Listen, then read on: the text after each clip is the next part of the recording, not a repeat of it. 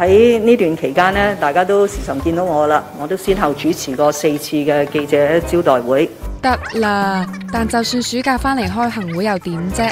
唔使做啊！而家過去嘅兩週嚇，雖然新增嘅個案呢係由兩週之前嘅連續誒好多天嘅超過一百宗，回落到誒近日嘅雙位嘅數字，但係評估落嚟咧，香港喺疫情方面仍然係存在社區爆發嘅風險。廢話少講，大家最關心係個市道俾你啲限聚限商令搞死晒點算啊！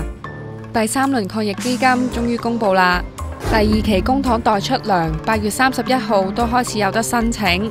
不過唔知係咪見上一期派到好似倒水咁，又俾人鬧益唔到市民。今次檢討完又有新玩法。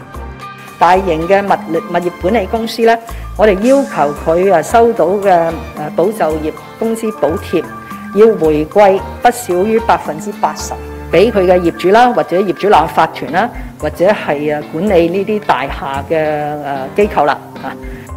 吓，咁我冇樓咪真係冇？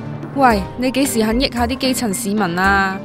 我哋唔想特別針對啲好小型嘅，即係商鋪或者喺街頭街尾咁有一間賣下雜貨啊，誒呢啲嘅商鋪，所以只係針對兩大超市誒百佳同埋惠康，佢哋需要係喺領取誒保就業嘅誒保就業嘅工資補貼期間，即係九月、十月、十一月咧，為佢哋嘅顧客提供各方面嘅減價。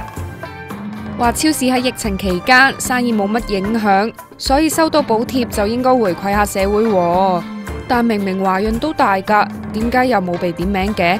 香港又由幾時開始賺到錢要同人共產噶？誒，我唔希望做一啲好擾民嘅事，啊，因為整個保就業計劃咧係要快速，係及時雨嚟嘅。快？邊度快啊？話說你都係呢日先醒起，有班年紀大嘅打工仔啫嘛。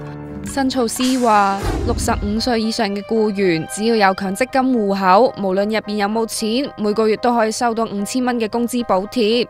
详情下昼记者会会再交代。